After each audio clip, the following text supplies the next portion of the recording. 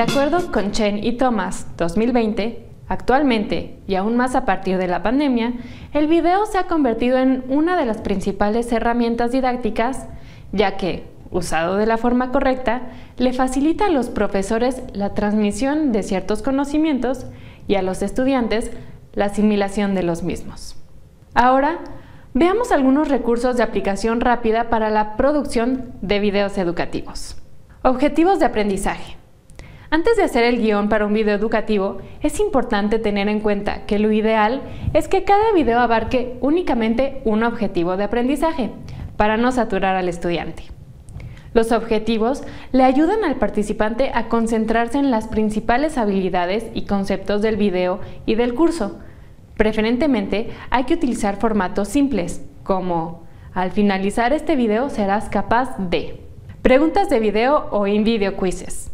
Es muy recomendable que incluyas en los videos este tipo de elementos que ayudan a los participantes a retener puntos importantes de los temas así como engancharlos cuando pudieran estar perdiendo cierto interés. Haxman ME y colegas 2020. Guiones. Es importante generar guiones prácticos que consideren videos de una extensión corta, entre 3 y 5 minutos, donde preferentemente se inicie con preguntas que causen curiosidad y enganchen al participante. Por ejemplo, ¿qué pasaría si o ¿te has preguntado cómo? Finalmente, los nombres cortos en los títulos de los videos ayudan a los participantes a recordar los temas de cada uno de ellos. Conversacional. Intenta hablar de forma natural buscando ser entusiasta. Esto ayuda mucho a los participantes a sentirse en confianza. Para lograr esto, podemos hacer variaciones del volumen, haciendo énfasis en puntos importantes, inclusive moviendo las manos usando el lenguaje corporal.